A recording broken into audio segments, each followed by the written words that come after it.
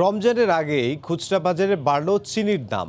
কেজিতে পাঁচ টাকা বেড়ে খোলা চিনি একশো সাত এবং প্যাকেটজাত একশো বারো টাকা করার সিদ্ধান্ত নিয়েছে আমদানি ও প্রস্তুতকারক প্রতিষ্ঠানগুলো। পয়লা ফেব্রুয়ারি থেকে কার্যকর হবে নতুন এই দর। বাণিজ্যমন্ত্রী জানান, বিশ্ববাজারের সঙ্গে সমন্বয় করতে দাম বেড়েছে। এদিকে সরবরাহ স্বাভাবিক রাখতে পণ্য আমদানিতে চার সরকারি ব্যাংককে এলসি খোলার নির্দেশনা দেওয়া হয়েছে। চিনি গায়ে লেখা একশো সাত। আমাদের জন্য ডিলার একশো দশ টাকা করে নিতেছে।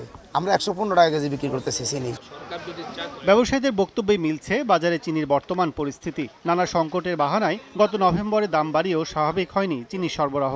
বেঁধে দেওয়া দামের চেয়ে অতিরিক্ত দিয়েও যখন অহরহ মিলছে না চিনি, তখন রোজার ঠিক দু মাস আগে আরেক দফা দাম বাড়িয়েছে বাংলাদেশ সুগার রিফাইনার্স অ্যাসোসিয়েশন। নতুন মূল্যে ফেব্রুয়ারি থেকে এক কেজি খোলা চিনি কিনতে হবে একশো ষাট টাকায় ও প্যাকেটজাত একশো বারো টাকায়। এতে দামে নয় ছয়ের সঙ্গে সংকট বাড়বে বলে মত ব্যবসায়ীদের।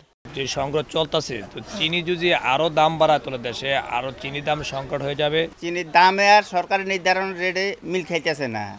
এখন আমরা যদি আনি খুচরা বিক্রি করতে যাই কাস্টমারের সাথে বেশি বার্গেটিং করতে হয়। মূল্য এদিকে বৃহস্পতিবার রাজধানীতে মেট্রোপলিটন চেম্বার অব কমার্সের এক সেমিনারের শেষে বাণিজ্যমন্ত্রী জানান বিশ্ববাজারে দাম বেড়েছে বলেই দেশে সমন্বয় করা হয়েছে। চিনি আমাদের নির্ভর করতে হয় ইম্পোর্টের উপরে। আর গ্লোবাল মার্কেটে চিনির দামটা বেড়েছে। যার জন্য এই সমস্যাটা হয়েছে। পাশাপাশি আমরা চেষ্টা করছি যাতে ডিউটি এবং ভ্যাট ট্যাটগুলো কমিয়ে দেওয়া হয়। এটা যদি কিছু কমানো হয় তাহলে হয়তো তার উপরে প্রভাবটা পড়বে।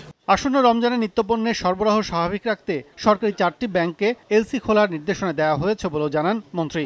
জাহাজে কিছু ছিল সেটা কালকে গতকালকে পরশু থেকে কিন্তু রিলিজ করা শুরু হয়েছে। আর চারটা সরকারি ব্যাংকে ইনস্ট্রাকশন দিয়েছে বাংলাদেশ ব্যাংক যেন এলসি ওপেন করা হয়। দেশের উৎপাদন খাত সচল রাখতে গ্যাস বিদ্যুতের দাম পুনর্নির্ধারণে সরকার পর্যালোচনা করছে বলে জানান বাণিজ্যমন্ত্রী তাদের কথা শুনবেন এবং ব্যবস্থা কাজল আবদুল্লাহ সময় সংবাদ ঢাকা।